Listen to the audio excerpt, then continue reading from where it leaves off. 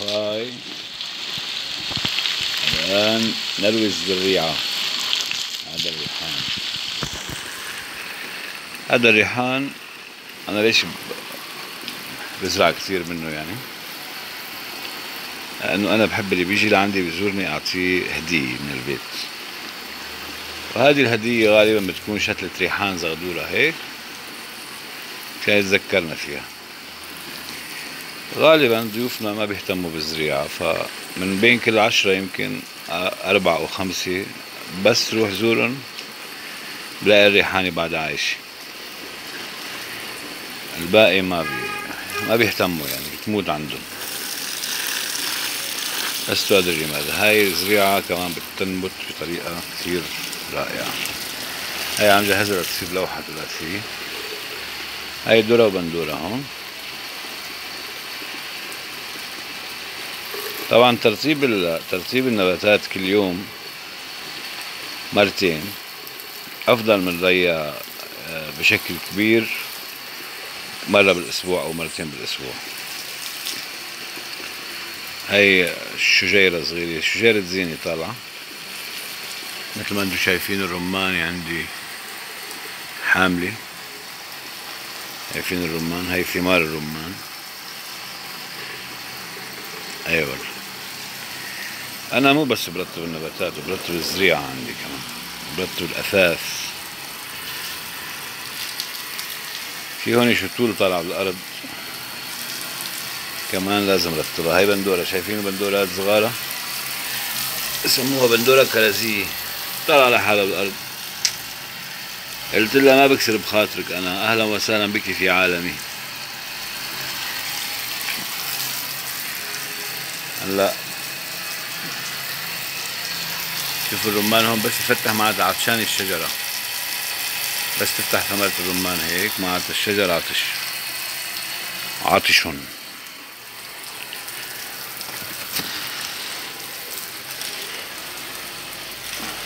أي عمل بتشتغله بدك تسقيه على طول مشان يخسى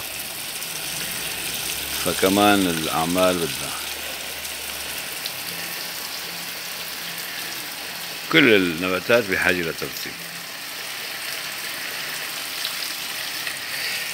هاي ياسميني. عم تكبر مثل ما أنتم ملاحظين.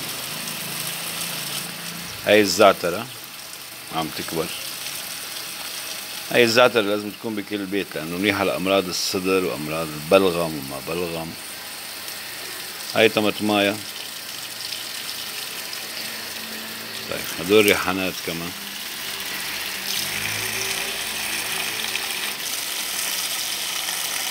ترتيب يعني أنا برتبهم تقريبا مرتين باليوم. هاي الورد الجوري.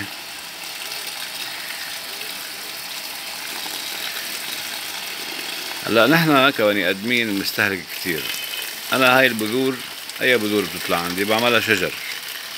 هاي الشجرة عمرها سنتين هلأ. يعني أنا ما خسرتها. هلأ إذا بدي بيعها هلأ. حقق 50 دولار. هاي. أي بذور مش مش كرز خوخ تفاح أي شيء بزرعه. خلي عندي.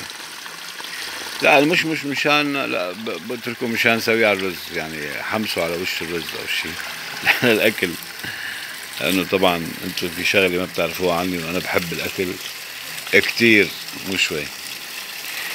وصراحة الغربي أكثر من الشرقي. هلأ الشرقي عن جديد يعني صار يتفكهن أه بذكر مثلا الكبسي والأوزي والأكلات المشهورة حتى المقلوبة هيك أكلات عربية قديمة. كانت قبل طيبة أما عددها يعني على عدد الأصابع. فنحن بالأساس ما عنا كتير مطبخ غني.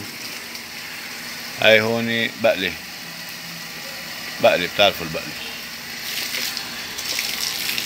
مطبخنا مو غني كتير.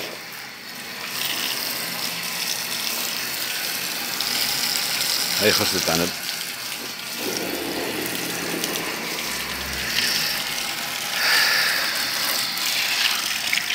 يا جسرا خشبي هاي ريحانة طالعة بالأرض كمان. وهكذا يعني.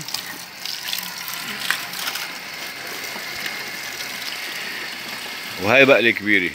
شوفوا هاي بقلة هلأ صارت تبذر مشان هلأ يطلع بذر بقلة. ونستبقل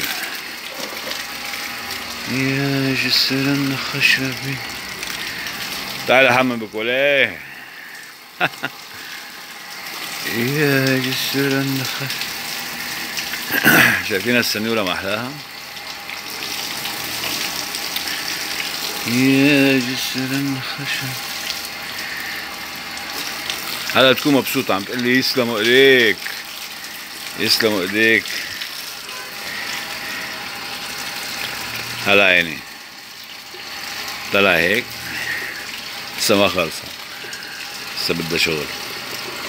هاي بكرة بكرة حاشتغل عليها مشان تكمل.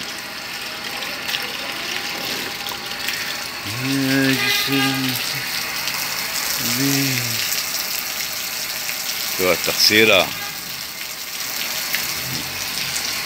طبعا هاي أنا بعملها قالب يعني. اشتغلها كقالب هذا بذر الرشاد صار بده حصاد. بكرة حقص بذر الرشاد وحقص بذر البقدونس مو بكرة كمان بجوز اليوم ما بعرف. وبذر البصل حأجمع. حأجمع كل هاي البذور منشان يعني شايفين هاي الرماني كمان. هاي البقدونسي. كمان بذورها صارت جاهزة للقص. بكرة حقص أطول بقدونسي بالعالم بكرة حنقص البذر تبعها. هذا البذر بقدونسي هاي وصل طولها مترين. قطع المترين كمان يعني. هذه أطول بقدونسي بالتاريخ. التاريخ المعاصر والحي. ترتيب ترتيب ترتيب ترتيب على الماشي مشان نضل نشوف. هاي هون يوقف الصرف تبعها لازم ننتبه. لما يوقف الصرف تبع الزريعة لازم نفتحه. هاي نعناع. شايفين نعناع مكبرة ما في مكان أنا زرته أو مدينة أو غابة إلا ما زرعت فيها نعناع. أبدا ما بتذكر. يعني مثلا بنكون رايحين رحلة بدهم يساووا تبولي مثلا بياخذوا معهم النعناع فأنا شو بعمل؟ باخذ عيدان النعناع من الرحلة. اللي بتصفى. بروح على أي مكان رطب أو في مي وبشكهم فيها. بزرعهم. صدقوني الرحلة اللي بعديها لما أجي على نفس المكان بروح بلاقي النعناع على الأقل 20% منه آه، ناجح شغله هاي بقدونسي و ناجح شغله طالع ومتمدد كمان. يعني بيجي إنسان معتاز بيجي إنسان على الرحلة نسيان النعنع بيجي كذا بيلاقوها. في مسكبي أنا زرع يمكن من شي ست سنوات بمكان جنب نبع جنب نبع مي هلأ إذا بتروحوا عليها بتلاقوها يعني مثل بستان نعنع صارت. ما النعنع قوي بس بده مي. وهنيك في نبعة. صار تقريبا كل الناس تعرف انه إنه في نعناع هنيك يعني. بس في أحيانا عالم بتروح بتشيله من كعبه بتقصه بتخربه.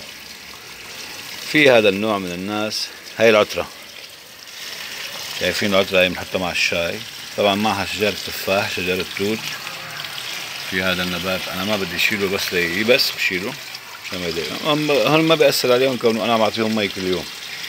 هلأ لو لو ما بهتم بهتم فيهم لازم آه،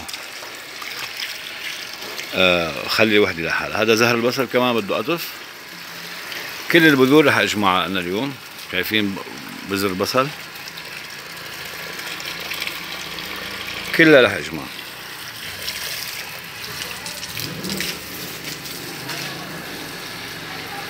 يا جسر خشبيه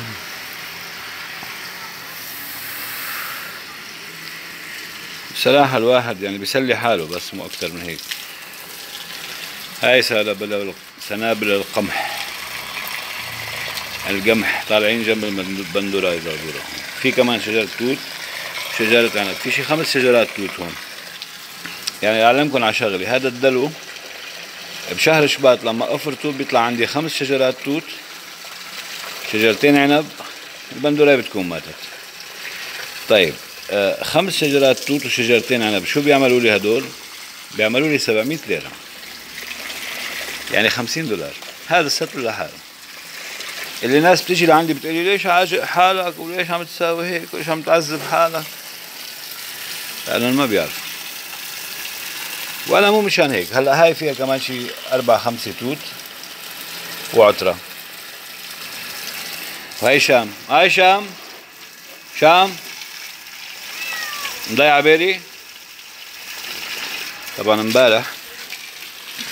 صار حدث كتير آه، مؤسف. إنه بيري لما أنا عم درب اولادها يتعلفوا على البيت من برا فبحطهم كل يوم عطله بكون ما في سيارات. بحطهم بالشارع بمنطقة بعيدة هني وأمهم مشان هي تجي وهني يجوا معها يتعلموا على يرجعوا على البيت في حال ضاعوا وفي حال تاهوا فكنا عاملين هاي العملية شي أربع خمس مرات وعم يرجع عم ترجع الأم بس عم تعلمهم يعني كل مرة عم يقطعوا نص المسافة لأنه الدخلة فيها تسلق.